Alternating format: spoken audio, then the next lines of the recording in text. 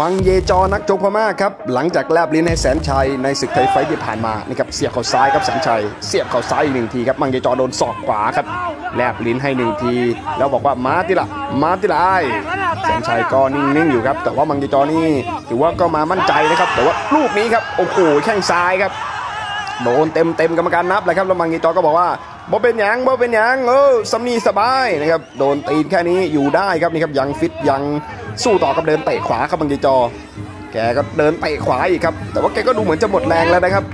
ตอนนี้แสนชัยเองก็ประคับประคองครับ แล้วก็เหมือนจะหมดเหมือนกันแต่ยังไม่แสดงอาการนะ ส่วนมังยีจอนี่ออกคาทานะครับว่าหมดก็มีเสาให้เห็นครับนี่ครับเศร้าพนาวามโอ้ยตกล่าผักสาวไปครับก็มีครับเสียบเขาซ้ายศอกขวาครับเตะก้านคอครับ แล้วก็จบเรียบร้อยครับ นี่คือแผลแลบลิ้นที่ทำให้เห็นกันมาครับว่ายังไม่ชนะอย่าพิ่งแลบลิ้นครับ เดี๋ยวเราดูครับเราดูจังหวะน็อกนะครับ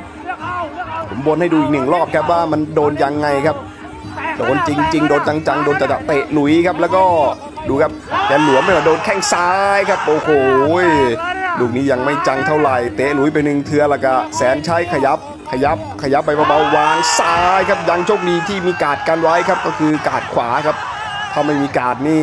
นอนลงครับแบบนี้ครับ แต่ว่าบอกว่าเป็นยังนี่ล่ะอ่านี่ครับลุกมาใหม่ครับจังหวะนี้ยังมั่นใจชูมือ ส่วนแสนชัยก็บอกว่าเดี๋ยวค่อยๆเล่นนิ่งๆ เลือกเอาเลือกเอานะครับ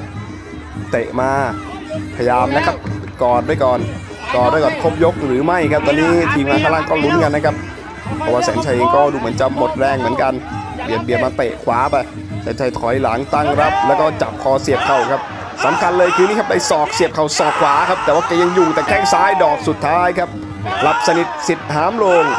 มังเยจอนักชกพม่า ผู้แลบลิ้นใส่แสนชัยนอนลงไปครับแล้วก็จบเกม กดไลค์กดติดตามครับ เจอกันคลิปต่อไปครับ ฝากคอมเมนต์เป็นกำลังใจให้กัน